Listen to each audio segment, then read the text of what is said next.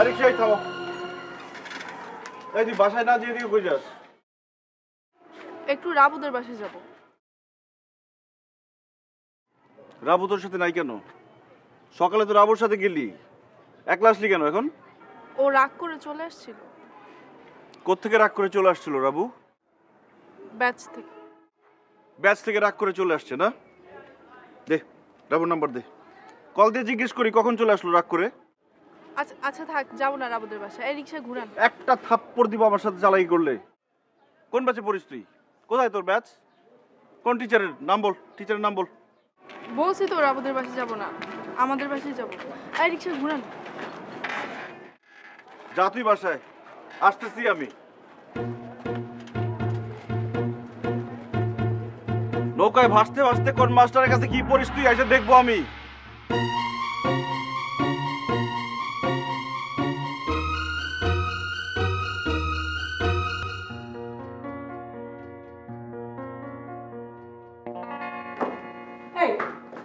দেরি করে আসলিস কেন তুই? স্যার বেশি সময় পড়াইছে কিছু বলল না কেন?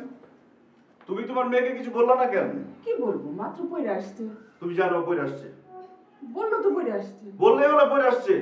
আমি জানি না কোথায় যায় কি করে আমি জানি না। ও মুকুল কি বলতেছিস সেসব কোথেকে আসছে? কি দেখছিস তুই? আমারে জিজ্ঞেস করো কেন? আমারে কেন জিজ্ঞেস করতেছো? পড়ার নাম করে কোথায় যায় ওরা জিজ্ঞেস করো। তুই বলতে পারিস না। আমি বলব কেন? ও বলতে পারে না? রাবুর সাথে পড়তে গেলে রাবু তো আসতো এখানে। আসছে?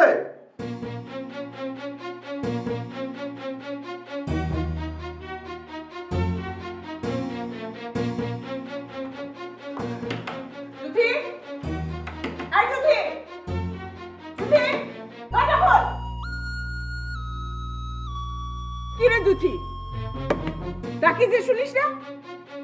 শুনবে না মা শুনবে না। ও তোমার কোনো কথা এখন আর শুনবে না। জুথি মেজাজ কিন্তু খারাপ হইতেছে আমার? মুকুল এসব কি বলতেছে? মুকুলের কথা কি সত্যি?